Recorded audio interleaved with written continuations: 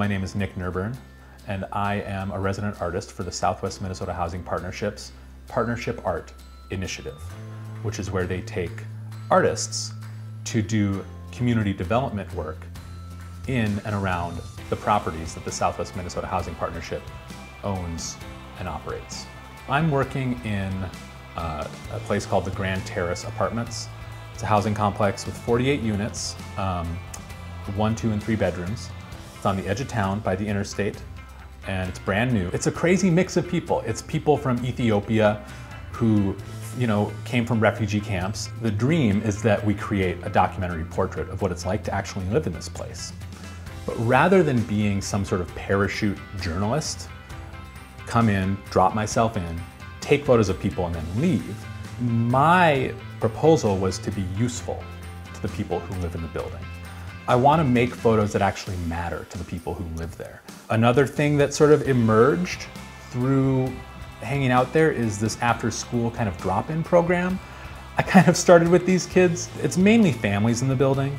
And the kids after school, I mean, that's how you get in with families. You hang out around someplace after school and kids come out and they want to talk to you. I've been giving them instant cameras, so like Polaroids, disposable cameras, and photo prompts.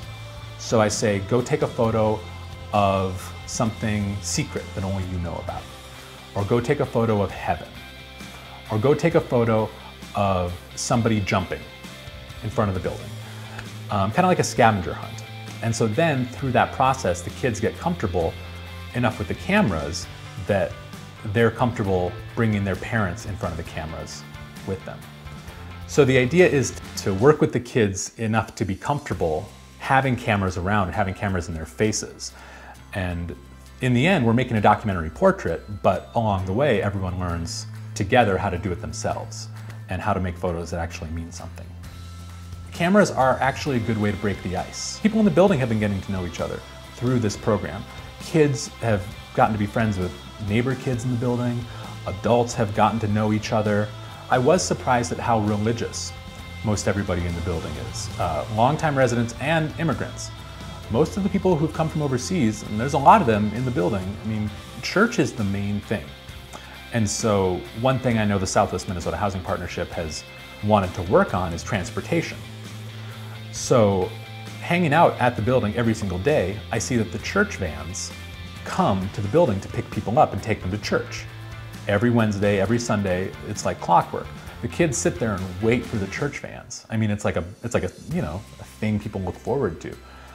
And I told the housing partnership folks, like, work with the church vans. I mean, if you want to if you want to meet people's transportation needs, if people don't have cars, do a program with them. That's the kind of thing you see hanging out there, you know, and just spending time. I want to make the work with people. I want to tell stories with people together. Enlarging the common life. The work is about enlarging the common life. That's why I'm here.